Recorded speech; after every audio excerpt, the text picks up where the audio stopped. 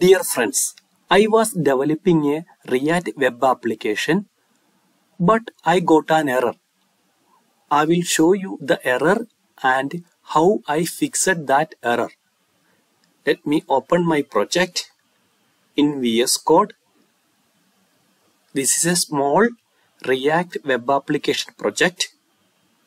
First, let me run the project. npm start enter key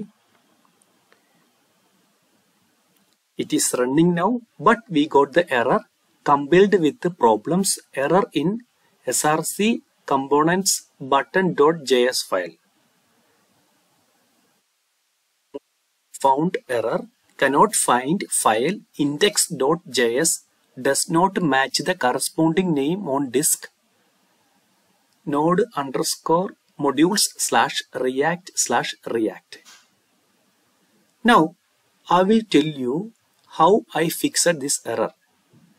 This error happened because of this word. This react module is case sensitive. Instead of giving capital R, we have to give small letter r. So let me save the file. Now we rerun the project. Now we can see the output. Hi, welcome to Tech Nursery. I just share my knowledge with you. It may help you. Thank you.